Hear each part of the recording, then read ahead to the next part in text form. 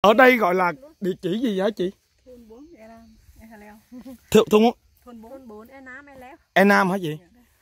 Cái cây này vừa rồi thu sau khi phục hồi bão xong thì thu trên 4 tạ. Đúng rồi bởi vậy mới 6 cây mới uh, hai tấn mấy chứ. Cái cây này bảo là nghiêng luôn hả chị ha? Nghiêng siêu luôn hả? Wow mà giờ trái dữ vậy.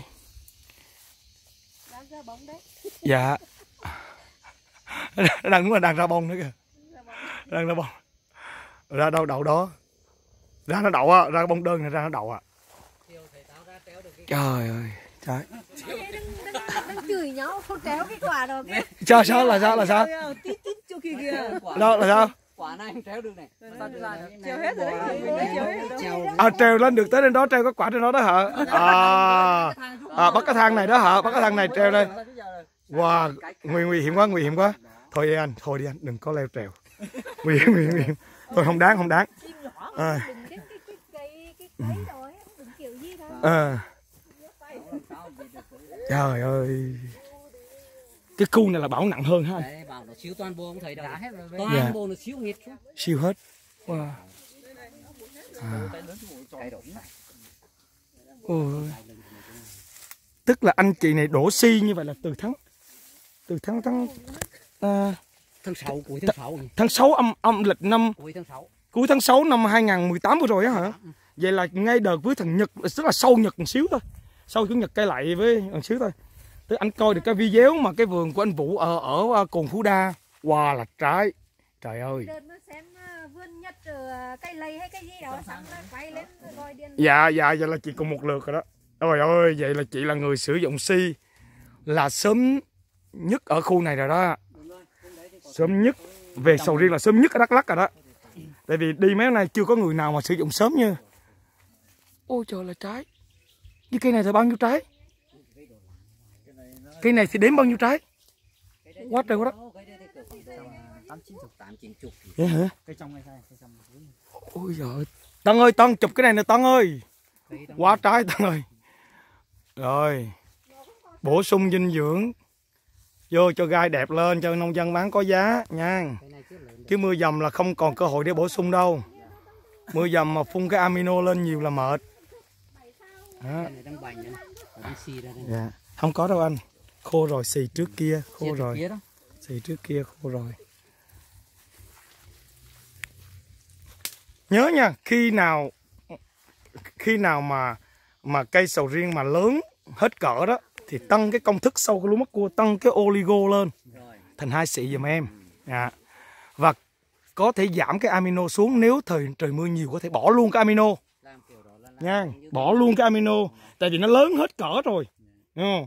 và nó dinh dưỡng lấy từ trong này ra nên không có lý do gì mà phải lớn hết cỡ rồi mà mà cứ đưa amino vào. Hồi vừa mới một nông dân á ở trên hàm thuận bắc á là một cái vườn nó chúng nó từng tới đã dặn rất rõ rồi cây hết lớn rồi mà mà lại dọng tới amino lên tới một lít luôn. Nguy cơ ha. Nguy cơ là nó bị bị nắm trái. Mà đã là vậy là xài xi lâu bộ lá nó lại đẹp nữa. Nó lại không có nắng chiếu vào nữa. Không đúng. Trời ơi. Tân ơi tân mày coi nè tân cây Trời ơi, khủng khiếp. lớn nhanh như thổi á. Mà chiếc bông không có bao nhiêu nha. Ừ, bóng ít lắm. Nói vậy thôi nó cứ một cái bông đó nên trước khi đẻ là khỏe rồi nè à, nhìn thấy bông ít đúng không? Nó là như vậy. Chứ ra cả nùi á rồi rớt xuống đất cả lớp như vậy mất sức vô cùng. Em hay nói mà ra nhiều là mất sức à. Phải không anh? Ra nhiều là mất sức đúng không? Đúng không? Nhất vùng này hả? Thì cỏ hả? Ôi trời ơi. Cái cây này anh đếm được bao nhiêu trái? Nếu mà anh đếm được bao nhiêu không đếm nổi luôn hả khoảng trăm à, hai trăm ba trời trăm hai trăm ba trái. Tôi không có thời gian để điểm ờ không thì điểm sáu tôi tin là điểm sáu ba phải điểm nữa vì à, tôi chỉ có trách nhiệm treo xong rồi là dạ vâng bà đầu bà bà đến tiêu thu tiền đúng không? Điểm, à, hay quá ha. cái chỗ này trở đi nữa hơn năm chục trái nó cây này hơn nó phải trăm rưỡi trăm sáu. để nó nổi lên mà nó vẫn ấy này rể cái gì? gió bật các em. Bị bão nè nè em không nghe hả? Gió bão á. Bão lật hết luôn nè ừ rồi mới đầu mới ba lăng dùng ba lăng mới neo lại. Xong đã về nhà tôi mới kể cho ông Tuấn nghe chuyện tôi trong sâu riêng à vậy hả? Chưa À, vậy hả? rồi ok. Hồi xưa tôi đi Thôi, trốn mình vào trốn đi. nhưng mà trong sâu riếng đâu dạ. Hồi xưa đi trốn nhưng mà trong đâu? Đi chung đào quá sâu anh. Đào xuống dưới mà tôi nói ông đang cái mất ghép nó đang xuống dưới mặt đất như này này trời đất ơi mà sao? Chắc lúc đó đất nó tốt hay sao nó sống được kìa cao 80 mét xong nó đắt xuống dưới? Không mà nhiều khi đôi khi như vậy là vừa rồi bão nó đỡ đấy chứ nếu mà cạn cạn cho nó hốt hút cái rồi. Nhiều khi đôi khi sai về kỹ thuật mà lại wow bên kia bên kia cũng trái nhiều lắm. Thôi được rồi. Ừ. đúng rồi chúng ta phải phục hồi lại cái rễ. À, chứ, chứ chúng ta mà dùng hóa chất chúng ta phục hồi lại là nó chết hết. Rồi ok